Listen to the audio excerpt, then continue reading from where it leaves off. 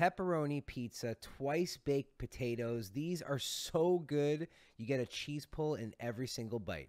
Here's how you do it. Pierce a couple large russet potatoes with a fork and bake them at 425 for an hour. When they come out and you let them cool for a little bit, slice off the top and use a spoon to scoop out the inside. Make sure to leave a border of potato inside the skin so that we can refill them with the potato mixture and they hold up in the oven. Place the scooped up potatoes in a bowl with a half a cup of grated mozzarella, half a cup of grated parm, one tablespoon of garlic powder, oregano, and onion powder, a pinch of salt and pepper, a half a cup of marinara sauce, and two tablespoons of sour cream.